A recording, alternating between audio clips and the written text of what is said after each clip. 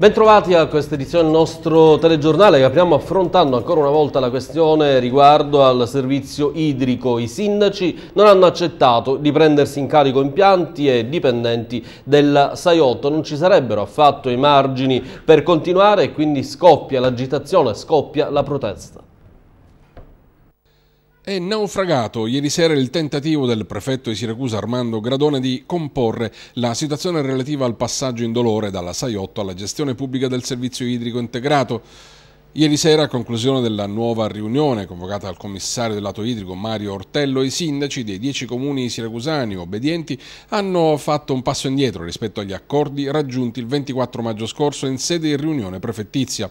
In tanti si sono espressi sostenendo l'impossibilità a dare seguito a quanto aveva prospettato il prefetto, ovvero affidarsi all'affitto del ramo d'azienda, garantendo la continuità dell'erogazione del servizio e soprattutto la salvaguardia dei 159 posti di lavoro.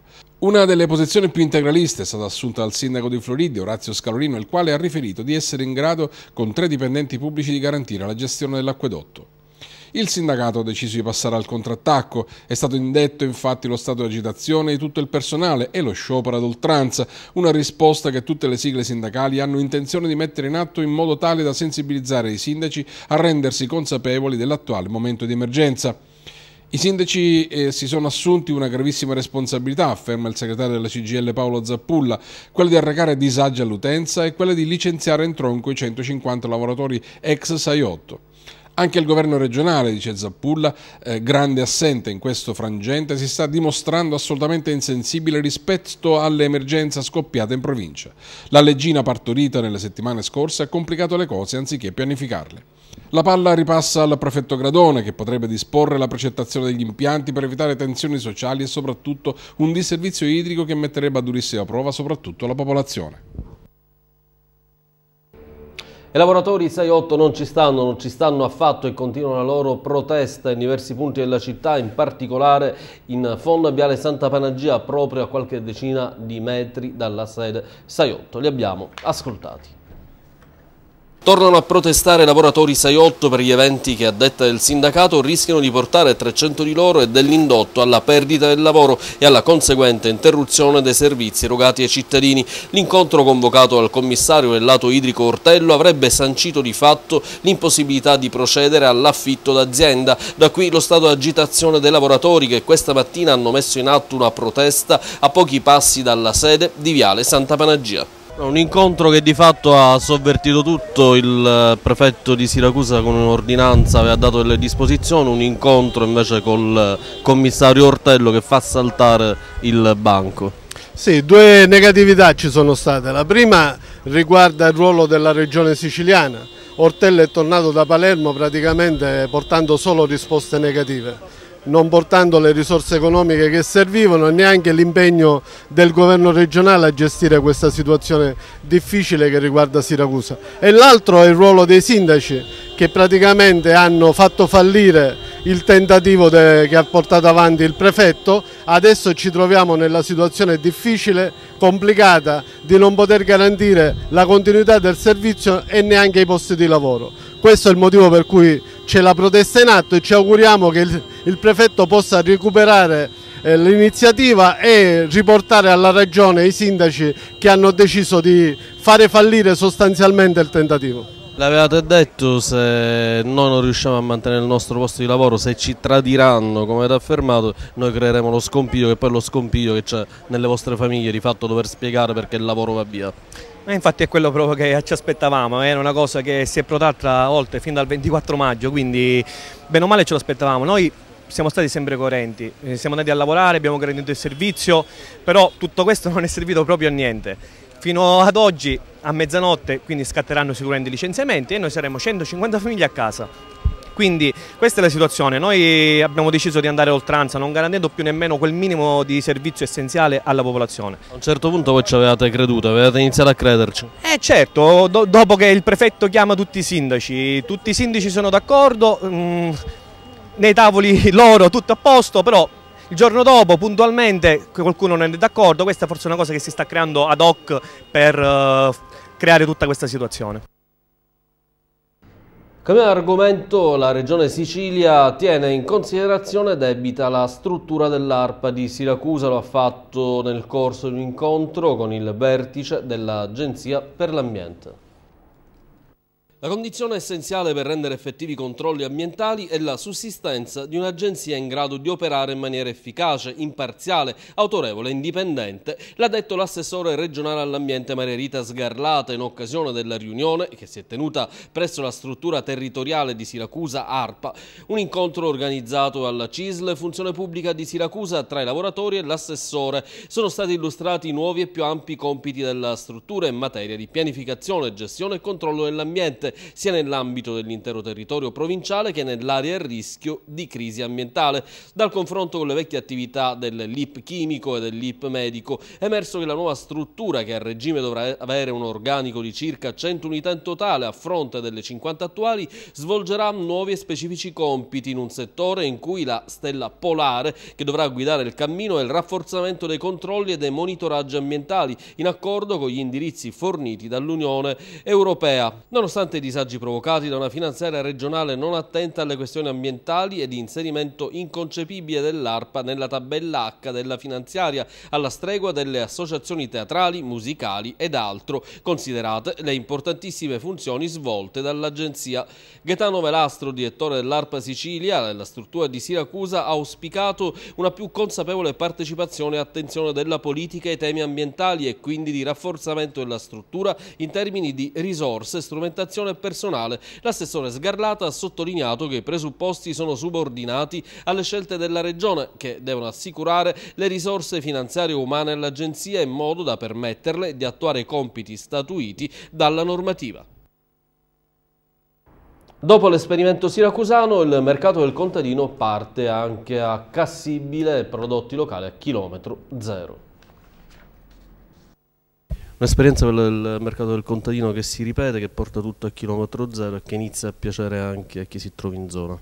Sì, inauguriamo sabato mattina 21 giugno il nuovo mercato del contadino di Cassibile Fontane Bianche, un'esperienza che ha già avuto successo in città, in Ortigia, in Piazza Adda e che vogliamo ripetere anche in un contesto territoriale importante, qual è quello appunto di Cassibile Fontane Bianche, proprio nel momento in cui si moltiplicheranno gli abitanti e i residenti in modo particolare, quindi andremo a circa 30.000 persone che graviteranno in quel contesto, quindi ci sembra come dire un'offerta di servizi nuovi, tra l'altro innovativi perché la domanda di prodotti tipici di territorio, di qualità, la filiera corta, quindi dal produttore al consumatore hanno avuto un grande successo, stanno avendo un grande successo per cui pensiamo che possa essere positiva anche questa esperienza.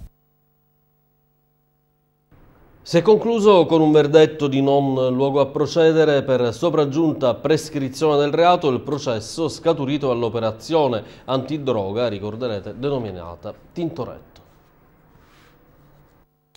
Gli effetti della legge Fini Giovanardi sulle droghe, eh, rientrata in vigore nel marzo scorso con un decreto che ha ripristinato le tabelle sulle sostanze stupefacenti, non si sono fatti attendere al processo a carico di 12 persone arrestate nel gennaio 2006 a seguito di una maxi operazione antidroga portata a termine a Siracusa dagli uomini della squadra mobile.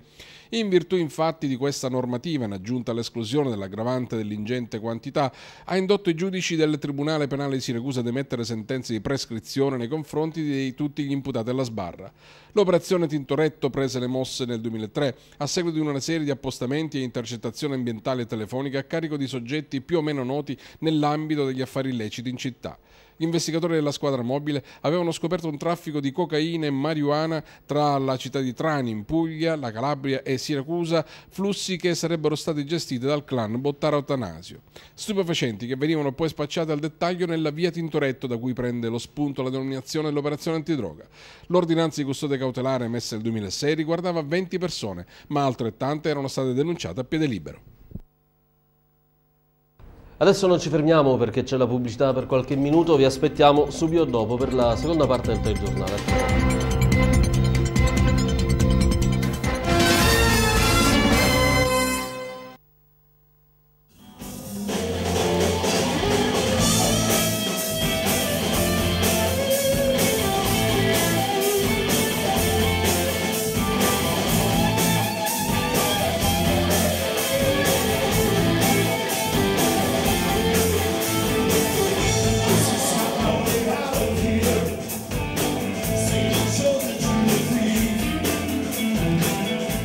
Eventi live in Ortigia all'Hendrix. Venerdì 20 giugno Steel Blade e Monolith. Sabato 21 giugno Pink Swan, Tribute Band ai Pink Floyd. Domenica 22 giugno Moonlighters in concerto.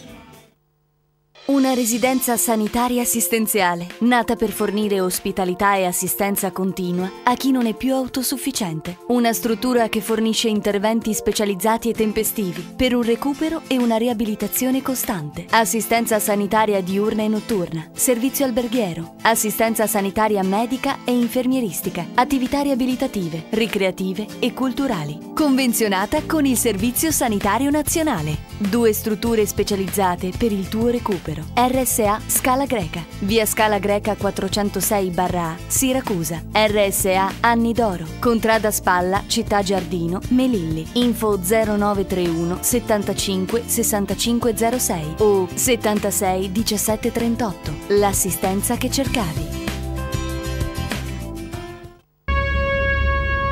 Scavolini Store! Pozzallo e Siracusa, svuotiamo tutto! Sotto costo oltre 30 modelli di cucina Scavolini! Svuotiamo tutto per rinnovo locali! Scavolini Siracusa, Viale Scala Greca, Scavolini Pozzallo, Viale Europa! Entra nel mondo Gemar. Una vasta gamma di prodotti di marca ai prezzi più bassi della città Salumi, carni, frutta, verdura rigorosamente certificati e sempre freschi. Inoltre abbigliamento, giocattoli, elettrodomestici, telefonia e tanto altro.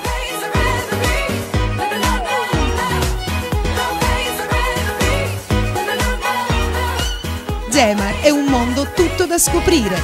Cerca il punto vendita più vicino a te. Nel punto vendita di via Garrone sconti del 40% su tutto il reparto abbigliamento. Allora telecamera riesce a vederla? Sì, sì, è davanti a un negozio. Bella, vero? E poi è bella anche dentro, ha stile. E guarda che cromature. Cromata? Ma chi, la ragazza? Ma va, io parlavo della nuova Yaris. Ah, ti sei innamorato di un'auto, ma non è un po' strano. E perché è una telecamera che parla non è ancora più strano? Scopri la nuova gamma Yaris. Geniale come sempre, trendy come non mai. Oggi è tua da 10.250 euro. Autosport, concessionaria Toyota, Contrada Targia, Siracusa. Se hai tante idee per la testa, tuffati nella creatività e accendi la voglia di fai da te. Ventilatore a soffitto, euro 29,90. Erba sintetica pretagliata 2x3, 23,90. Lettino resina smeraldo, 29,90. Mobile bagno, 79,90. Box doccia cristallo 5 mm, 99,90. Rinfresca la tua estate. Da Brico Center, due imperdibili offerte climatizzatore 12.000 BTU con 5 anni di garanzia a 299 euro, piscina rettangolare 4 metri per 2 a 229 euro, anche con pagamenti rateizzati. Brico Center Melilli, Contrada Spalla, Città Giardino presso il Parco Commerciale Belvedere. Bentrovati, seconda parte del nostro telegiornale che apriamo subito con la cronaca. Rapinò in casa un'anziana, per questo un giovane priolese scoperto grazie al rilevamento delle impronte digitali è stato condannato a tre anni di carcere. Aveva fatto irruzione di notte a casa di un'ultra ottogenaria e mentre la vittima dormiva, insieme con altri complici rimasti non identificati, consumò un furto. A distanza di cinque anni dall'episodio, il giudice monocratico del Tribunale Siracusa ha emesso sentenza di condanna a tre anni di reclusione, oltre al pagamento di 500 euro di multa a carico del priolese Andrea Calogero Giarratana, 24enne. Assistito dall'avvocato Sebastiano Ebreo, il giovane si è visto condannare con una pena superiore a quella invocata dal pubblico ministero, che aveva richiesto la condanna dell'imputato a un anno. Il fatto si è verificato la notte del 9 dicembre 2009 quando, forzando la finestra del bagno, il Giarratana in compagnia di altre persone non identificate avrebbe messo a soqquadro l'abitazione di un'anziana che vive sola in casa. Il bottino di quel furto si è concretizzato in una somma di appena 80 euro trovati nella borsetta della vittima. Al risveglio la donna si è accorta che qualcuno era entrato in casa sua. I carabinieri del Ritz di Messina hanno seguito un sopralluogo rilevando su una biscottiera e sul vetro del comodino delle impronte digitali ad una verifica di laboratorio e a una comparazione sono state attribuite al Gerratana. L'imputato si è sempre dichiarato estraneo ai fatti oggetto della contestazione. E ancora per la cronaca, coltivava marijuana nel giardino della sua abitazione. Per questi carabinieri di Floridia hanno arrestato in fragranza il reato di coltivazione di prodotti eh, quali appunto marijuana in, eh, al fine di spaccio. Le manette sono scattate ai polsi di un 46enne siracusano Enzo Cutrale, aveva alcune piantine e tre di canapa indiana nel giardino della sua abitazione. La pulizia della spiaggia di Agnone Bagni è assicurata da un gruppo di giovani volontari con il sostegno dei cittadini che risiedono nella zona balneare. Vediamo.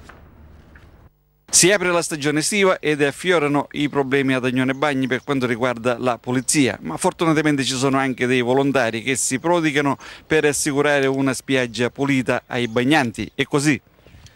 Sì, eh, siamo 4-5 ragazzi che ci siamo messi avanti per pulire sempre ad opera grazie al comitato di Agnone Bagni che ci ha dato disponibilità di, di, ripulire un po' la spiaggia. Però facciamo quel, quel, che possiamo fare del nostro meglio. Speriamo di, di non deludere le persone perché nel nostro piccolo quello che possiamo fare facciamo. Ecco del lavoro ce n'è tanto. A voglia che ce n'è lavoro. Guardate quanti sacchi stanno uscendo Qui purtroppo siamo noi, noi stessi che siamo qui ad Agnone Bagni e ci adoperiamo a fare questa pulizia straordinaria diciamo. Ecco, voi pulite ma devono essere da oggi in poi anche i bagnanti a mantenere pulita questa spiaggia. Bravissimo, se, che questo, questa intervista porti a un passaparola a tutte le persone che vengono ad Agnone, che ci dassero una mano anche loro perché quest'anno come l'anno scorso, anzi quest'anno peggio ancora, siamo, siamo inguaiati veramente.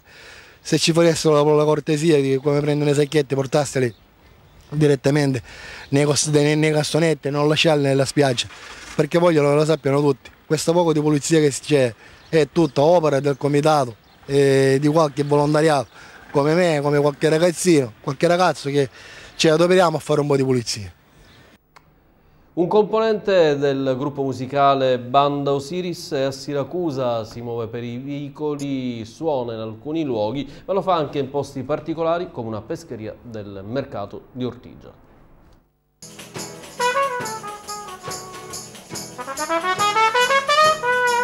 Un componente del gruppo musicale Banda Osiris a Siracusa per esibirsi con artisti locali in giro per la città un modo creativo di spargere note e melodie tra le pietre dell'isola e i viottoli più antichi. Location inusuali e tradizionali quindi per le vie del centro storico, come quella in un locale di via Roma dove è stato coinvolto con la sua tromba in un recital di Karen con al pianoforte Elpida e Olivia Giardina e al violino Giuseppa Modica.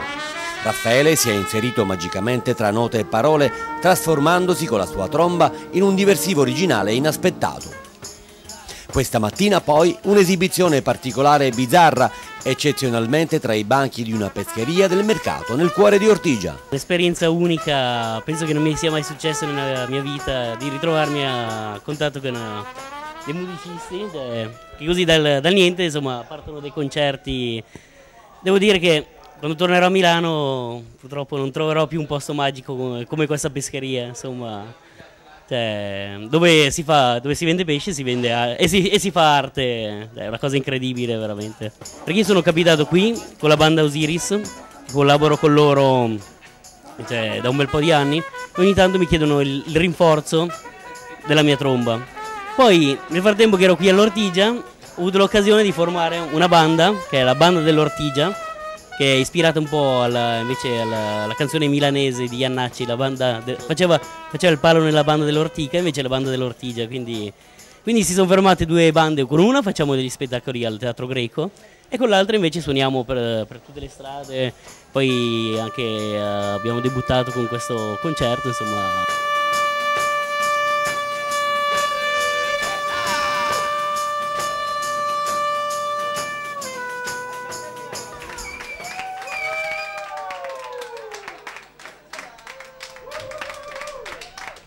Apre la stagione estiva all'Acquapark di Contrada Spalla, Città Giardino, l'inaugurazione sabato prossimo.